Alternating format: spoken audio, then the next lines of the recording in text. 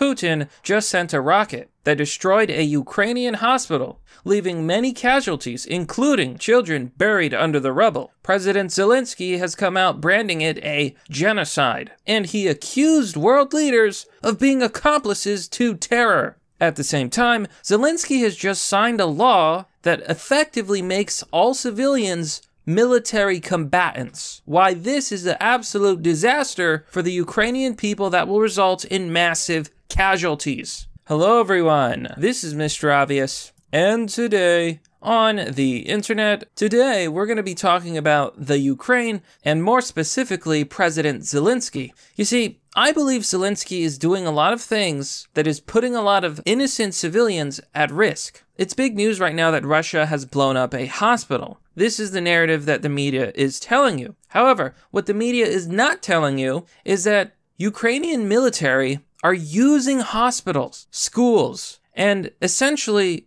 places that should be for civilians to, to hide in as military bases. This has caused these places to become targets. In other words, Ukraine is using its citizens as human shields. But we're going to talk about that, folks, and more. But before we do, smash that like button, subscribe to the channel, hit the bell icon for updates for future content, and if you like this video, share it with your family and friends and online. And now, a word from our sponsor. Introducing Webull. Webull is a trading app where you can buy and sell cryptocurrency and stocks. Join Webull today to get up to 5 free stocks worth anywhere from 27 to $9,600, my friends. It's basically free money. You also get a $5 cryptocurrency reward when you make your first crypto trade. Again, join Webull today, deposit some money, and you could get up to $9,000 in free stocks. One heck of a deal, folks. Sign up today by clicking the affiliate link down below. And we're back. Okay, let's just jump right in, folks. We've got a lot to go over. White House officials are warning that Russia could be using chemical weapons in the Ukraine, sparking fear and hysteria that big old bad Putin is trying to level the Ukraine to the ground. Now, I don't believe this narrative. I never really have. If you really look at who Russia is targeting, it's strictly military targets. And this is also why President Zelensky's actions are so concerning. Is Russia trying to blow up nuclear power plants? Are they going to launch a chemical weapon? I really do not believe either narrative. But you know what? Don't take it from me. Listen to the following clip on Fox News. Do you think Putin will pull what I would call a Grozny? Grozny was the capital of the, yeah. um, of the this uh, breakaway republic. He flattened it when the civilians resisted. Yes. You're going to see this. I mean, is he going to flatten yeah, he, Ukraine? No, absolutely not. In fact, uh, he's worked hard to capture most of it uh, intact. Uh, surprisingly little damage, frankly, Stuart. Much less damage than we inflicted on Iraq when we went into it, either in 91 and again in 2003. Mm. Now, I think they're just surrounding the Ukrainian forces and they are annihilating them. And this is inevitable. Uh, and Mr. Zelensky, I think, is postponing the inevitable in the hopes that we are going to rescue him, and we are not coming. President Biden has made that very clear. This is a Fox interview with Stuart Varney interviewing Douglas Macgregor. Uh, I believe he's a colonel, so he served in the military, and he brings up a lot of good points. One of which is that Zelensky is in fact putting his own citizens at risk. Colonel, it sounds like you don't approve of Zelensky's stand. Oh, I think Zelensky is a puppet, uh, and he is putting huge numbers of his own population at unnecessary risk, putting huge numbers of his own population at unnecessary risk. And uh, quite frankly, most of what comes out of Ukraine is debunked as lies within 24 to 48 hours. Is not a, a hero?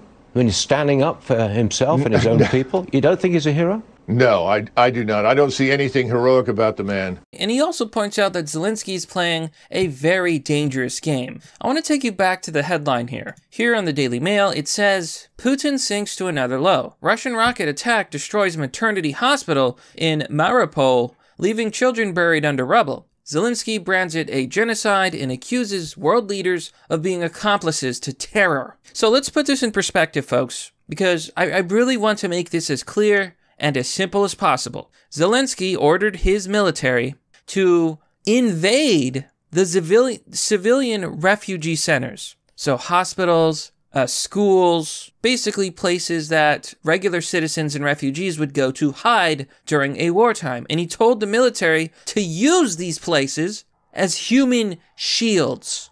Maybe he thought that Russia would not blow up these schools and hospitals. But what is a hospital but a military target if you fill it with your military? And this is the missing part of the narrative that the media is not telling you. President Zelensky is putting his own citizens at risk. Take a look at the following. Here on Twitter with Russians with attitude, Zelensky has signed a law that allows all civilians to carry weapons of war and use them against Russian soldiers. Below it says, Congrats on turning 20 million people into unlawful combatants, I guess.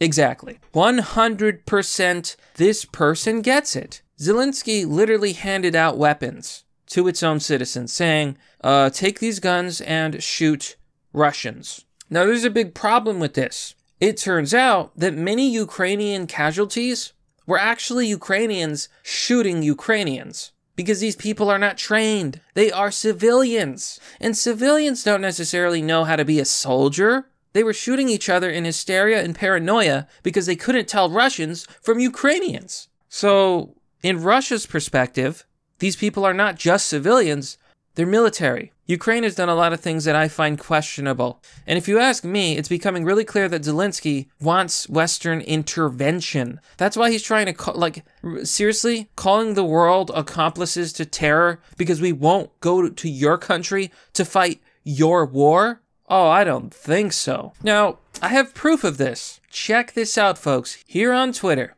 with disclosed.tv. Pentagon. Transferring fighter jets from US custody to Ukraine is not explored right now, but sovereign nations can decide for themselves. So, the other day, there was a story. Poland was offering its fighter jets, basically offering them to the Ukraine through the US. The idea was that Poland said, hey, United States, you can take our jets, give them upgrades, and if you feel like sending them to Ukraine, we won't complain. So Poland quickly backtracked on the statement, saying that, oh, that's not what we really said and not what we really meant. And then the Pentagon came out saying, yeah, we're not going to send the fighter jets to the Ukraine, probably because it would cause World War III. However, Zelensky has recently replied to this, saying, this is about lives.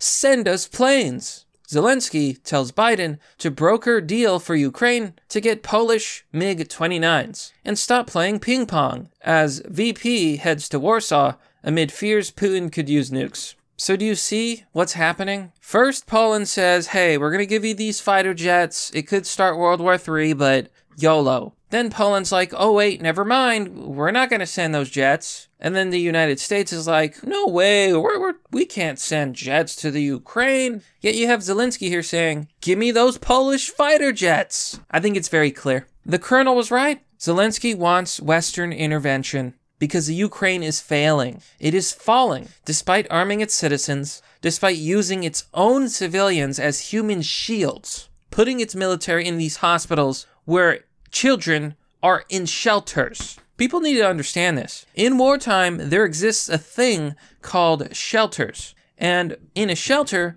you put your civilians. This is how they stay safe. And what Zelensky is doing is putting his military in these shelters with civilians. And then when Russia blows up those shelters, quote unquote, he says, Look, Russia is committing genocide. Please, oh please, will the West intervene? It's disgusting. He's using his own people as sacrifices to push his political aims. It's not right. Now, with all of this being said, one of the most pressing issues right now is oil. Here on the Daily Mail, gas prices nudge to $8 a gallon in LA as drivers form huge lines outside of Costco gas stations nationwide, and average prices hit an all time high of $4.25. Oil continues to skyrocket. It's already $8 in California. And uh, what is President Biden trying to do? He's trying to fix the oil problem, but he's failing. There's a, a, a story that came out. Biden called Saudi Arabia and, uh, you know, other countries with lots of oil, and they refused to take his phone call. They didn't care. They didn't care that Biden wanted more oil. You want to know the best part? Saudi Arabia took Putin's phone call. Oh, Lines are being drawn in the sand, my folks. So I don't know how Biden is gonna fix oil. In fact, I think it's his fault. Who was the one who banned Russian oil imports? Who was the one that sanctioned uh, Russia? Who was the one that closed the Keystone pipeline and destroyed America's energy independence?